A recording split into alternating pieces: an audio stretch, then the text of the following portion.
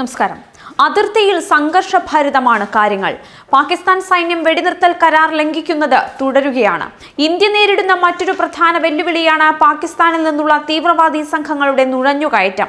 കശ്മീർ വിഷയത്തിൽ ഇന്ത്യക്കെതിരെ നിരന്തരം ഭീഷണി മുഴക്കുകയാണ് പാകിസ്ഥാൻ. പാകിസ്ഥാനൊപ്പം ചൈനയും നിലയുറപ്പിച്ചിരിക്കുന്നു. ഈ സാഹചര്യത്തിലാണ് അതിർത്തി മേഖലയിൽ പാകിസ്ഥാന്റെയും ചൈനയുടെയും വ്യോമസേനകൾ ഇപ്പോൾ പരിശീലനവും ആരംഭിച്ചിരിക്കുന്നത്. അതിർത്തിയിൽ ഇരു രാജ്യങ്ങളും ഡ്രില്ല് നടത്തുന്നത് ഇന്ത്യ സംശയത്തോടുകൂടി തന്നെയാണ് നോക്കിക്കാണുന്നത്. ഇന്ത്യൻ വ്യോമസേന നിരീക്ഷണം ശക്തമാക്കിയിരിക്കുന്നു. ഷഹീൻ എട്ട് അഭ്യാസത്തിന്റെ ഭാഗമാണ് സേനാ വിമാനങ്ങൾ പറക്കുന്നതെന്നുള്ള റിപ്പോർട്ടുകളും പുറത്തുവരുന്നുണ്ട്. ചൈനീസ് നഗരമായ ഹോൾട്ടണിലാണ് പാകിസ്ഥാന്റെയും ചൈനയുടെയും സൈനികർ പരിശീലനം നടത്തുന്നത്. ലഡാക്കിലെ ഇന്ത്യൻ അതിർത്തിയോട് ചേർന്ന മേഖലയാണ് ഇത്.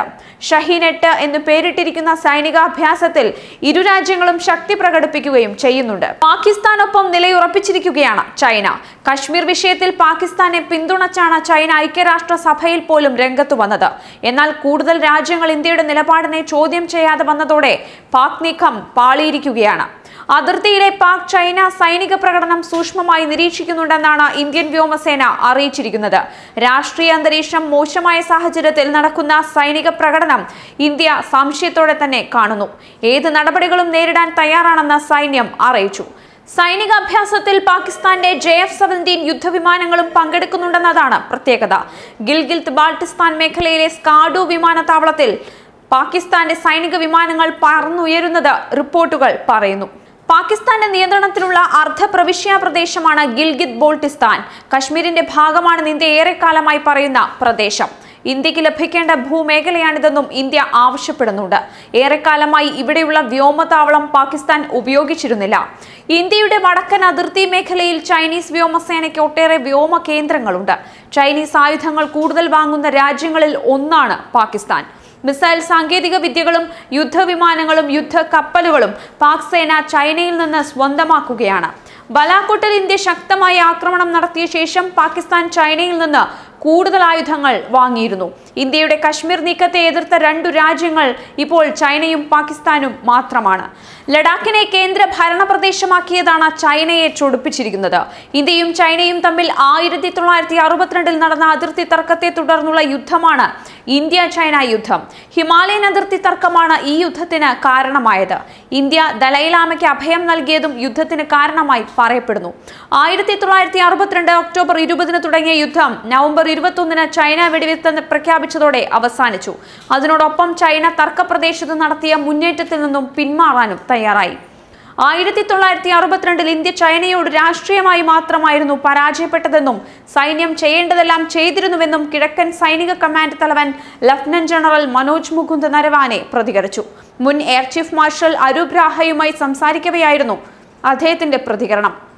യുദ്ധകാലത്ത് ചൈന അതിർത്തി കയ്യേറാൻ ശ്രമിച്ചിരുന്നുവെന്നും അതേ നാണയത്തിൽ ഇരട്ടിയായി തിരിച്ചടി നൽകാനുള്ള ശേഷി അന്ന് ഇന്ത്യൻ സൈന്യത്തിനുണ്ടായിരുന്നുവെന്നും അദ്ദേഹം പറയുന്നു. എന്നാൽ ഉന്നത നിർദ്ദേശങ്ങളുടെ കെട്ടുപാടുകൾ സൈന്യത്തെ പിന്തിരിപ്പിക്കാൻ പ്രേരിപ്പിക്കുകയായിരുന്നുവെന്നാണ് അദ്ദേഹത്തിന്റെ പ്രതികരണം.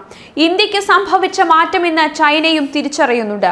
ഡോക്ലാമിൽ ചൈന തയ്യാറെടുപ്പുകളില്ലാതെ പഴയ മാർഗം പിന്തുടരാൻ ശ്രമിച്ചു നോക്കുകയായിരുന്നു. എന്നാൽ കാര്യങ്ങളുടെ നിജസ്ഥിതി അവർ മനസ്സിലാക്കി പിന്മാറിയതുകൊണ്ടാണ് ചൈനയ്ക്ക് കൂടുതൽ പ്രശ്നങ്ങൾ ഉണ്ടാകാതിരുന്നത്. ഇന്ന് ഒരു അടിയന്തര സാഹചര്യം ഉണ്ടാവുകയാണെങ്കിൽ തന്നെ ഇന്ത്യ പോരാടും. ഇന്ന് നമുക്ക് ഭയപ്പെടേണ്ട ആവശ്യമില്ല. കാരണം ഇന്ത്യ ഇന്ന് സന്നദ്ധരാണ്. സൈന്യം സ്വതന്ത്രവും. ലഫ്റ്റനന്റ് ജനറൽ മനോജ് മുകുന്ദ് നരവാനെ ശുഭാപ്തി വിശ്വാസത്തോടെ പറഞ്ഞ വാക്കുകളാണ് ഇവ.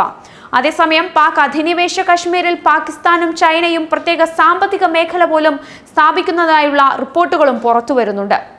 ഗിൽഗിറ്റ് ബാൾട്ടിസ്ഥാൻ മേഖലയിലാണ് മോക്പോണ്ടസ് എന്ന പേരിൽ പ്രത്യേക സാമ്പത്തിക മേഖല സ്ഥാപിക്കുന്നതെന്ന് ദേശീയ മാധ്യമങ്ങൾ പറയുന്നു. മേഖലയുടെ സാറ്റലൈറ്റ് ചിത്രങ്ങളെല്ലാം പുറത്തു വന്നു കഴിഞ്ഞു.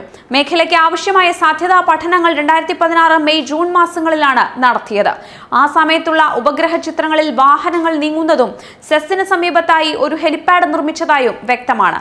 വി ഐ പികളുടെ സന്ദർശനത്തിന് ലക്ഷ്യം വെച്ചുള്ളതാകാം ഇതെന്നാണ് കണക്കാക്കപ്പെടുന്നത്. ഗിൽജിത്ത് നഗരത്തിൽ നിന്ന് നാൽപ്പത് കിലോമീറ്റർ അകലെ മോക്പോണ്ടസ് ഉൾപ്പെടെ ഒൻപത് പ്രത്യേക സാമ്പത്തിക മേഖലകൾ അതിവേഗം നിർമ്മിക്കുന്നതിന് രണ്ടായിരത്തി പത്തൊമ്പത് മെയ് മാസത്തിലാണ് പാകിസ്ഥാൻ ബോർഡ് ഓഫ് ഇൻവെസ്റ്റ്മെന്റ് അഥവാ ബോ ഐ അംഗീകാരം നൽകിയത്. രണ്ടായിരത്തി പത്തൊമ്പത് ഏപ്രിലിൽ പാക് പ്രധാനമന്ത്രി ഇമ്രാൻഖാന്റെ ബീജിംഗ് സന്ദർശനത്തിനിടെയാണ് ചൈനയും പാകിസ്ഥാനും തമ്മിൽ ഇതു സംബന്ധിച്ചുള്ള കരാറുകൾ ഒപ്പിട്ടത്. സെസ്സിനായി ഇരുന്നൂറ്റി അൻപത് ഏക്കർ പ്രദേശമാണ് പാകിസ്ഥാൻ ഉപയോഗിച്ചതെന്ന് സർക്കാരിന്റെ C P E C website പറയുന്നു. എന്നാൽ എഴുന്നൂറ്റി അൻപതിലധികം ഏക്കറിൽ സ്ഥലം ഇതിനായി ചൈന ഉപയോഗിക്കുന്നുണ്ടെന്നാണ് ഉപഗ്രഹ ചിത്രങ്ങൾ ചൂണ്ടിക്കാട്ടുന്നത്. ചൈന പാകിസ്ഥാൻ സാമ്പത്തിക ഇടനാഴിക്കെതിരെ ഇന്ത്യ കടുത്ത പ്രതിഷേധം ഉന്നയിച്ചിരുന്നു. ഇന്ത്യ ചൈന യുദ്ധമുണ്ടായപ്പോൾ ഇന്ത്യൻ സൈനികരുടെ പോരാട്ട വീര്യവും ആത്മബലവും ചൈന പ്രതീക്ഷിച്ചതിലും അപ്പുറമായിരുന്നു. കണക്കുകൂട്ടലുകൾ പിഴയ്ക്കുന്നതിൽ ചൈന കടുത്ത നിരാശയിലായിരുന്നു ആയിരത്തി തൊള്ളായിരത്തി അറുപത്തിരണ്ടിൽ. എന്നാൽ ഇന്നത്തെ സാഹചര്യത്തിൽ ചൈന അത്തരമൊരു സാഹസത്തിന് മുതിർന്നാൽ അടി കൊണ്ടേ പോകൂ. ഇന്ത്യയും സൈന്യവും ഇന്ന് നവീകരിക്കപ്പെട്ടിരിക്കുന്നു. അറുപത്തിരണ്ടിലേതിൽ നിന്നും സ്ഥിതി വ്യത്യസ്തമാണ്. ചരിത്രം ആവർത്തിച്ചാൽ ചൈന പുതിയ ചരിത്രം പഠിക്കേണ്ടി വരും. ആയിരത്തി തൊള്ളായിരത്തി അറുപത്തിരണ്ടിലെ യുദ്ധം സൈന്യത്തിന്റെ ചരിത്രത്തിൽ ഒരിക്കലും പരാജയമായി രേഖപ്പെടുത്താൻ സാധിക്കില്ല. രാഷ്ട്രീയമായും സൈനികപരമായും ഇന്ത്യയെ മാറി ചിന്തിക്കാൻ പ്രേരിപ്പിച്ച ഒരു സംഭവമായി വേണം അതിനെ വിലയിരുത്താൻ.